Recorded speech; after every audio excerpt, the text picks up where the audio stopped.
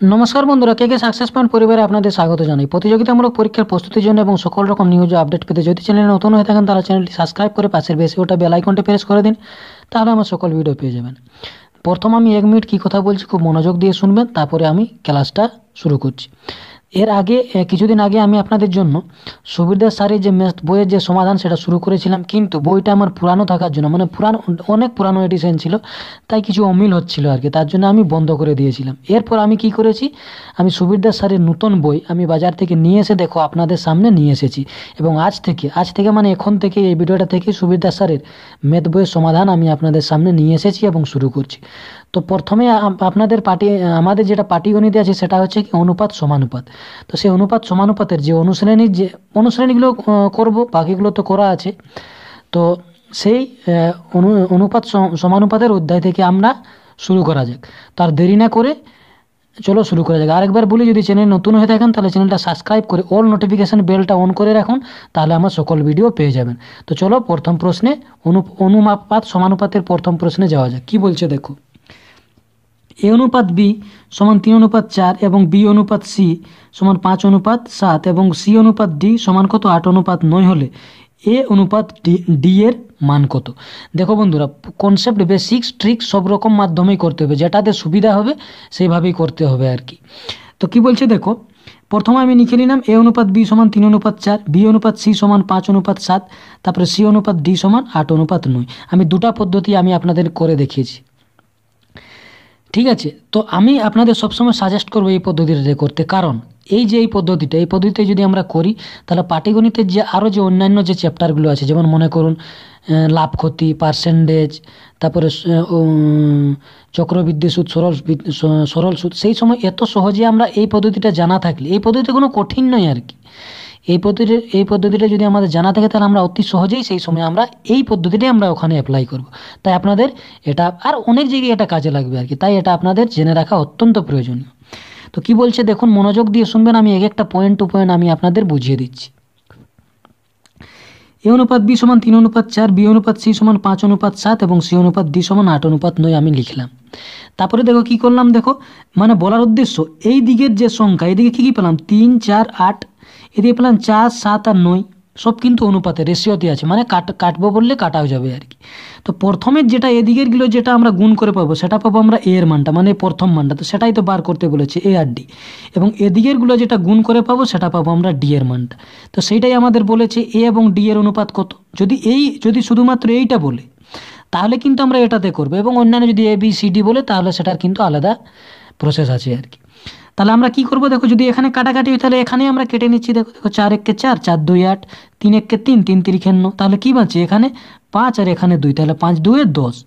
এদিকে কত বাঁচছে? দেখো এখানে সাত, এখানে তিন, তাহলে তিন সাততে একুশ। এন্ড অব দি কী আসলো এদিকে গুণ করে পেলাম আমরা দশ আর এদিকের পেলাম আমরা একুশ। তাহলে এই দিকের যেটা পেলাম সেটা হচ্ছে এর মানটা, এদিকের যেটা পেলাম সেটা হচ্ছে কি ডি এর মানটা। মানে এ অনুপাত ডি সমান কত হলো? দশ অনুপাত একুশ। অতএব এটা হচ্ছে আমাদের সঠিক উত্তর।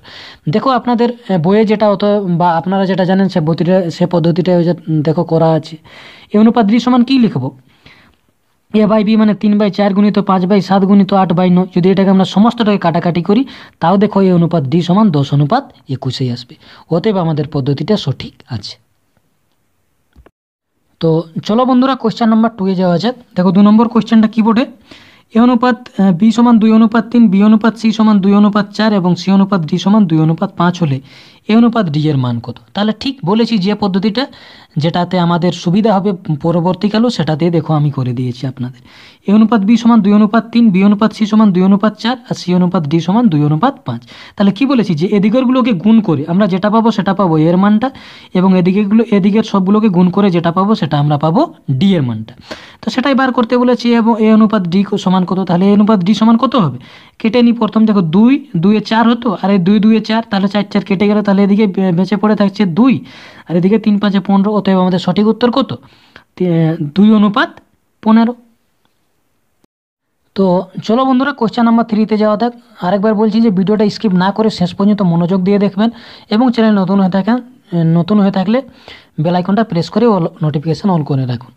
তো কী বলছে দেখো এ বাই বি সমান সাত বাই নয় বি বাই সি সমান তিন বাই পাঁচ হলে এ অনুপাত বি অনুপাত সি এর মান কত? দেখো, খুব সুন্দরভাবে বলছি, এত সুন্দর ট্রিক্সের মাধ্যমে এটা আমি আপনাদের করে দিয়েছি যে আর কোনো দিন ভুলবেন না।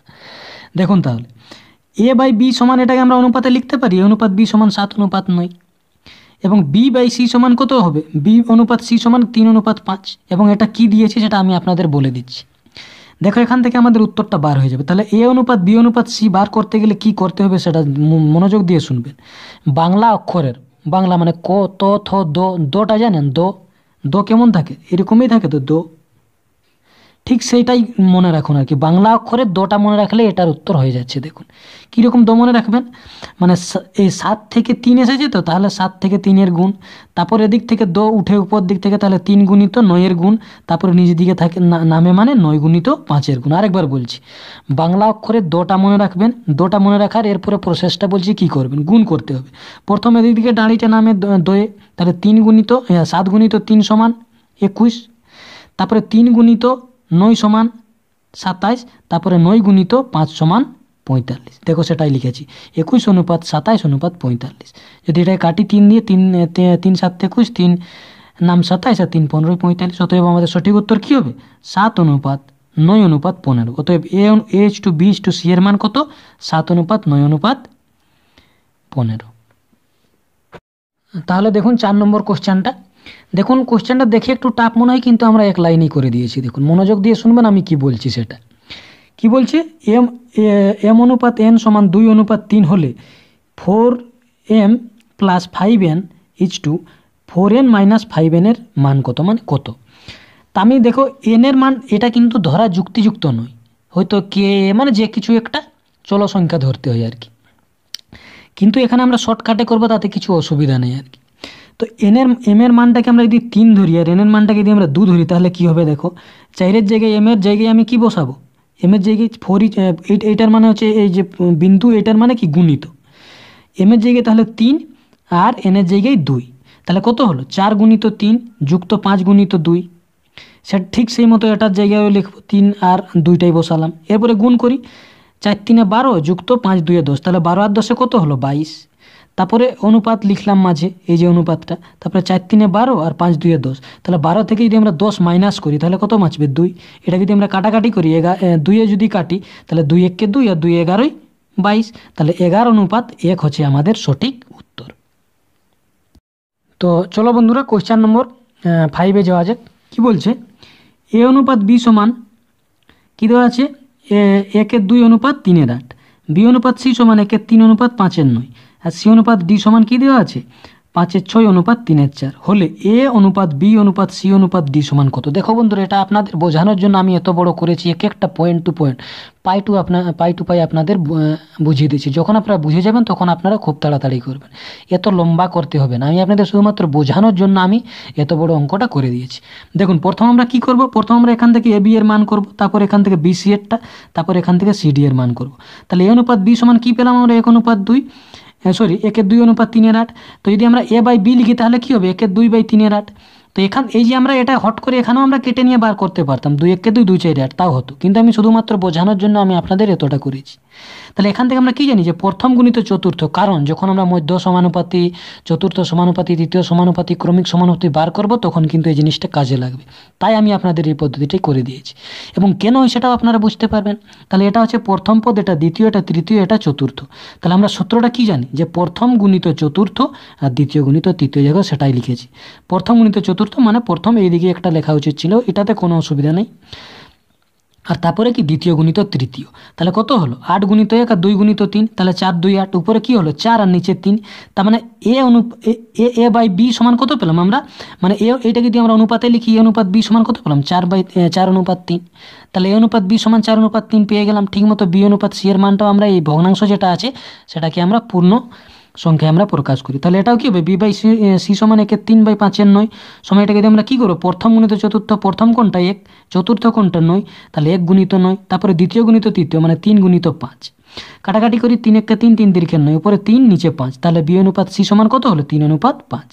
ঠিক সেই মতো সি অনুপাত ডি, সি অনুপাত ডিটা কত হলো? যে পাঁচ বাই সি বাই ডি সমান পাঁচ বাই ছয় আর তিন বাই চার, তাহলে প্রথম গুণিত চতুর্থ ঠিক আগের মতো। পাঁচ গুণিত চার বাই ছয় গুণিত তিন। তারপরে কাটাকাটি করি, এটাকে দুয়ে কাটছে, এটাকে তিনে কাটছে, তাহলে পাঁচ দুয়ে দশ, আর এটা হলো তিন তিরিখের নয়। তাহলে সি অনুপাত ডি সমান নয়। এরপরে দেখো আমরা কি লিখব? বার কি করতে বলেছি? এ অনুপাত, বি অনুপাত, সি অনুপাত, ডি। তাহলে এ অনুপাত, বি অনুপাত, তাহলে এখানে এখানে আমরা লিখে নিলাম, দেখো, একটু নিচ দিকে আছে আর কি, এখানে। এ অনুপাত, বি অনুপাত, সি অনুপাত, ডি আমরা লিখে নিলাম। এরপরে যেটা যেটা লেখা আছে, এই যে গোল ঘোরগুলো, এগুলো কী দেওয়া আছে, আমি আপনাদের এক একটা বুঝিয়ে দিচ্ছি। এ অনুপাত বি সমান কত? চার অনুপাত তিন। দেখো, সেটাই লিখেছি। বি অনুপাত সি সমান কত? তিন অনুপাত পাঁচ। আর সি অনুপাত ডি সমান দেখো, দশ অনুপাত নয়। এবার এইগুলোকেই, এইগুলো আমি আপনাদের বুঝিয়ে দিচ্ছি। কি করব আমরা? এটা, এই ঘরটা তো ফাঁকা থাকতো। কিছু নেই এখানে। কিন্তু আমি এখানে কি, এখানে আমাদের কি করতে হবে? এর সামনের দিকে যে ফাঁকা ঘরগুলো থাকবে, সেগুলোতে আমরা এই যে সামনের যে সংখ্যাটা, সেটা আমরা ভরে দেব। যেমন তিনটা, আর এখানেও তিনটা হবে। ঠিক সেই মতো এখানে তিন আছে, তাহলে এখানের পেছন দিকটা বাকি আছে, তাহলে এখানেও আমরা তিনটা দিয়ে দিলাম। তাই দেখো আমি আপনাদের ব- মানে গোল বৃত্ত দিয়ে আমি আপনাদের সাইন দিয়ে রাখিয়েছি, রেখেছি। তারপরে এখানে কোনটা হবে? পাঁচটা সামনের দিকে আছে, তার মানে এখানে আমরা ডি এর নিচে, এই যে নিচটা আছে, এখানে পাঁচটা দিয়ে দিলাম। এরপরে এই দিকে দুটো দেখো বাকি ছিল, তখন এই যে পেছনের বাকি আছে কোনটায়? দশটা। তাহলে এখানেও দশ দিয়ে দিলাম, এখানেও দশ দিলাম। এরপরে এটার গুণ এটার গুণ এটার গুণ আর এটার গুণ করে দিলে উত্তর। তাহলে এটা যদি আমরা গুণ করি সবগুলোকে, তাহলে হবে একশো কুড়ি, এগুলোকে করলে হবে নব্বই, আর এগুলোকে করলে হবে একশো পঞ্চাশ, আর এগুলোকে করলে হবে একশো পঁয়ত্রিশ। এবং যদি এগুলোকে আমরা কাটি পনেরো দিয়ে, তাহলে পনেরো আঠে একশো কুড়ি, পনেরো ছয়ে নব্বই, পনেরো দশ একশো পঞ্চাশ, পনেরো নয় একশো পঁয়ত্রিশ। অতএব আমাদের সঠিক উত্তর হবে কত? আট অনুপাত ছয় অনুপাত দশ অনুপাত নয়। এটা হবে আমাদের সঠিক উত্তর।